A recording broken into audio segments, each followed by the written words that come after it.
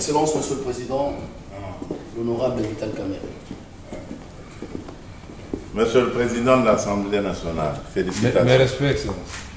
Mes respects et merci pour tout. Merci, merci pour tout. Félicitations.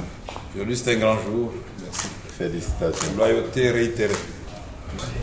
à la demande du président de la République, parce que nous étions trois candidats et le président a voulu qu'on applique la démocratie parce qu'il ne voulait pas avoir de préférences pour l'un ou l'autre candidat. Je dois d'abord rendre grâce à Dieu qui a fait que cet événement puisse avoir lieu. Remercier le président de la République pour la confiance qu'il m'a toujours faite et je réitère ici cette confiance auprès de la haute autorité de l'Union sacrée. Je voudrais aussi féliciter les organisateurs, c'est-à-dire le présidium, aujourd'hui présidé par l'honorable Augustin Kabouya, président AI de l'UDPS. Remercier euh, le président Bosso et le président Bahati qui étaient dans la course avec moi.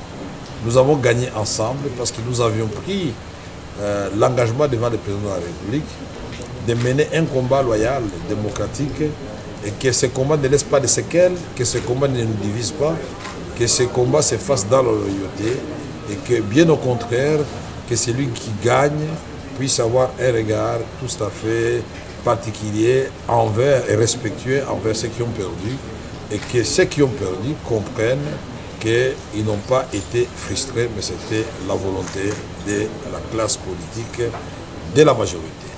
Ici, je remercie particulièrement la première formation politique que j'ai eu à rencontrer, c'est-à-dire l'IDPS, et ses alliés qui comptent beaucoup de députés au sein de la Chambre, qui peuvent faire basculer les choses dans un sens comme dans un autre. Je remercie tous les regroupements de l'Union sacrée qui m'ont fait confiance. Je remercie les amis du PSR, Tony Kankou, Jean-Lucien Boussa, Julien Paloukou, Bokele et d'autres qui nous ont accompagnés dans ce dur combat.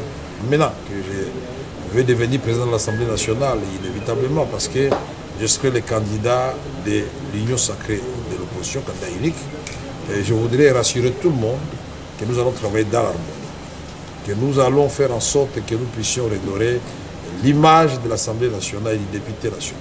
Nous allons faire en sorte que la séparation des pouvoirs soit une réalité. Nous allons pousser le gouvernement, la première ministre et les ministres à remplir leurs assignations contenues dans le programme du gouvernement. Donc le contrôle parlementaire sera de rigueur.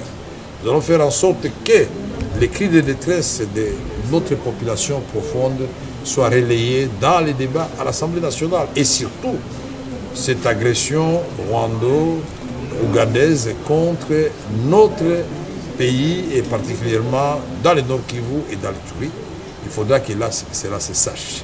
Nous allons faire en sorte que les réformes soient élaborées et adoptées à temps pour que les actions du gouvernement trouvent un matelas sur lesquels elles vont prospérer et porter des fruits en termes d'héritage que le président voudrait laisser à notre pays.